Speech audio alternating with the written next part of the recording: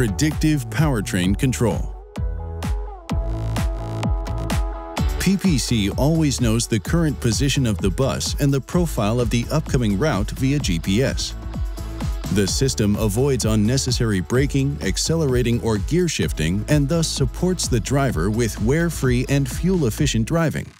If the terrain is favorable, eco-roll can also be employed. In appropriate situations, the technology can select the neutral position of the gearbox and allow the coach to roll longer in a way that reduces consumption. This reduces drag losses and saves on fuel. The system detects coasting situations itself and shows the driver the target speed as well as the reason for the speed reduction in the instrument cluster. If maps are stored, PPC automatically slows down when entering towns and when approaching curves on country roads with a tight radius or for obstacles.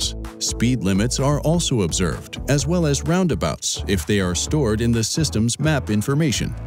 The driver has a wide range of options for adapting the system to the situation. In this way, the driver can adjust the deceleration behavior to adapt to events along the route in five levels, from a dynamic to a highly economical driving style.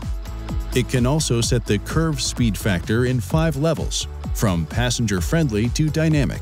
Via brake application or by actuating the accelerator pedal, the driver can override the interventions of the system at any time.